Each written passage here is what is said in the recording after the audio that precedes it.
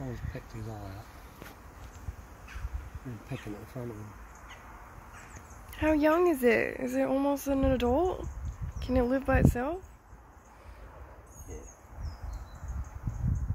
Little Louie. Have a little Louie.